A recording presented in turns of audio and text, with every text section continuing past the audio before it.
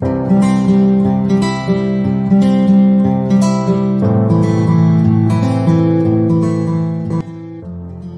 उपयोग न्यूरोपैथिक दर्द के इलाज के लिए किया जाता है।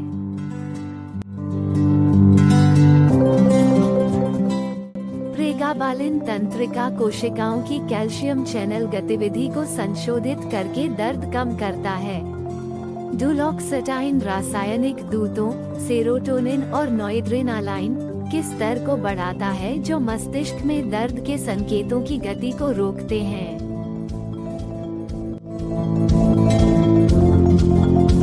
अपने डॉक्टर द्वारा सलाह के अनुसार इस दवा को खुराक और अवधि में लें। इसे भोजन के साथ या बिना लिया जा सकता है, लेकिन इसे एक निश्चित समय पर लेना बेहतर है।